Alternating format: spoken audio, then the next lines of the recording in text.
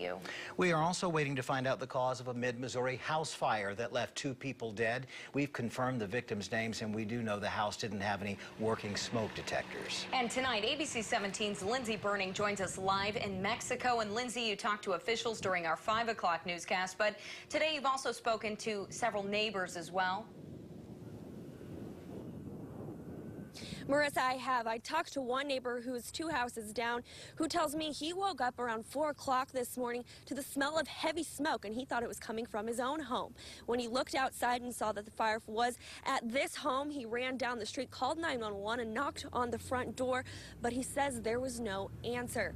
Mexico public safety officials tells me they responded about 4:30 this morning and they had about 20 firefighters on scene putting out the fire and cleaning it up for several hours. The last truck just left within the last two hours because they were monitoring the debris to make sure that didn't catch back on fire. Um, 20-year-old Alex Wagi and 27-year-old Jessica Cravens were found inside the home and pronounced dead at the scene. I was able to confirm with the Missouri Veterans Home here in Mexico that the two were employed there as certified nursing assistants.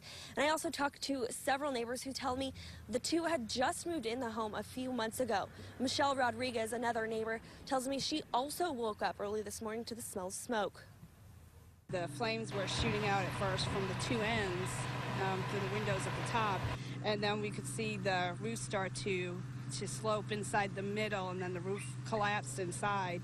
And you know, when the roof collapsed, everything started to flame across the whole middle of the the house. So you could see the flame on the whole top.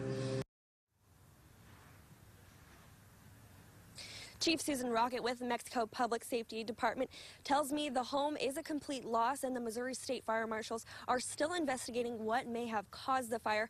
I also talked to a couple family members of Wagi earlier today who stopped by the home and they didn't want to go on camera understandably as it's uh, so soon, but they do tell me they plan to set up a memorial within the next few days. Reporting live in Mexico, Lindsay Burning, ABC 17 News.